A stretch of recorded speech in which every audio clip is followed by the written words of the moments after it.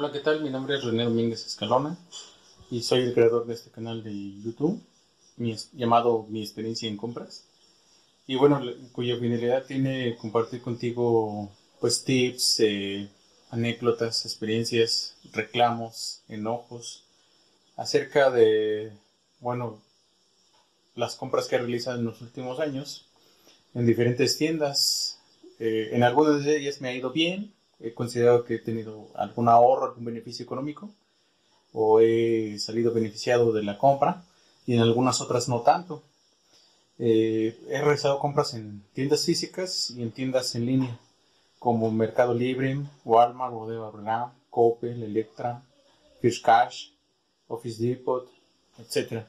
Entonces, en todas estas, pues he, tenido buenas experiencias y malas experiencias. Y bueno, la idea es que te las quiero compartir para que te puedan servir a ti como parámetro para tomar tus decisiones a la hora de comprar algún producto.